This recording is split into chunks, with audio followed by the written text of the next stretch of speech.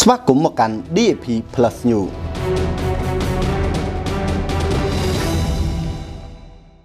ប្រទេសថៃបានបង្កើនល្បឿននៃការត្រៀមបើកប្រទេសឡើងវិញនៅខែវិច្ឆិកា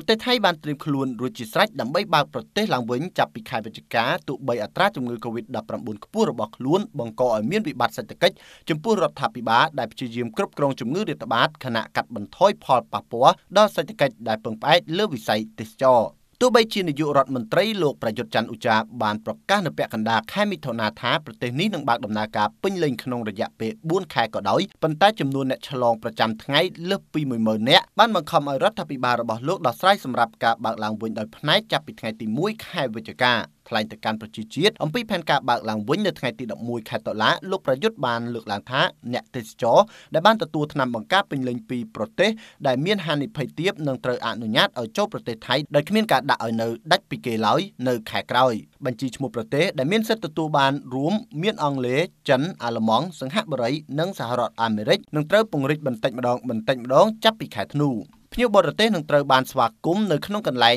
ដែលបានកំណត់ในខេត្តចំនួន10រួមទាំងទីក្រុងបាងកកដែលពោពេញដោយភាពអ៊ូអរនិងមជ្ឈមណ្ឌលទេសចរភាគខាងជើងខេត្តឈៀងម៉ៃដែលត្រូវបានគេស្គាល់ដោយសារភាពតាក់ទាញនៃវប្បធម៌និងធម្មជាតិផ្សេងផ្សេងគ្នា ផែនការដើមត្រូវបានផ្លាស់ប្ដូរបន្ទាប់ពីទីភ្នាក់ងារពាក់ព័ន្ធបានប្រមានថាគោលដៅនៃការចាក់វ៉ាក់សាំងយ៉ាងតិច70%នៃប្រជាជននៅតែនៅឆ្ងាយពីការសម្រេចបានការសាកល្បងបើកឡើងវិញបានចាប់ផ្ដើមហើយចាប់តាំងពីខែកក្កដានៅកោះរមណីយដ្ឋានភាគខាងត្បូងខេត្តភូកេតនិងសាមុយរួមទាំងកោះតូចៗមួយចំនួនទៀត ពួកគេបានទទួលយកអ្នកបច្ចេកទេសបរទេសដែលគ្មានវ៉ាក់សាំងកូវីដចំនួនមានកំណត់និងអាចស្នាក់នៅរយៈពេល14ថ្ងៃក្រោមពិធីការសុខភាពមុនពេលធ្វើដំណើរទៅកន្លែងផ្សេងទៀតក្នុងប្រទេសថៃប្រសិនបើតេស្តអវិជ្ជមាន។ ចាប់តាំងពីការចាប់ផ្ដើមនៃគម្រោង Phuket Sun Double មកភ្ញៀវទេសចរបរទេសជាង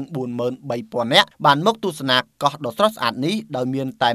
148នាក់ក្នុងចំណោមពួកគេបានធ្វើតេស្តវិជ្ជមានគិតត្រឹមពាក់កណ្ដាលខែតុលាវិស័យឯកជនរបស់ប្រទេសថៃបានស្វាគមន៍ការបើកដំណើរការប្រទេសឡើងវិញមួយជំហានម្ដងមួយជំហានម្ដងបន្ទាប់ពីត្រូវបានរារាំងដោយជំងឺរាតត្បាតចាប់តាំងពីដើមឆ្នាំមុន ទូរលេខអាជីវកម្មដែលបាននិយាយជាមួយសារព័ត៌មានខ្យល់ដូបានចែករំលែកទស្សនៈថាវិធានការបិទទ្វារមិនអាចបន្តដោយគ្មានកំណត់ពួកគេបានឲ្យដឹងថាមនុស្សត្រូវតែរៀនរស់នៅជាមួយមេរោគកូវីដ -19 ដែលជាការពិតនៅទីបំផុតដើម្បីត្រួសត្រាយផ្លូវសម្រាប់ការងើបឡើងវិញនៃសេដ្ឋកិច្ច